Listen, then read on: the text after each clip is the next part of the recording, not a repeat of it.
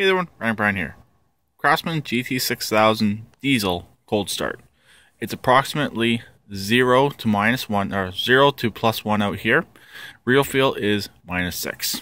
I have not preheated the engine, but I do have the block, player, block heater plugged in. And uh, let's get some glow plug action. 1, 2, 3, 4, 5, 6, 7, 8, 9, 10, 11, 12, 13, 14, 15, 16, 17, 18, 19, 20. And uh, let's try it.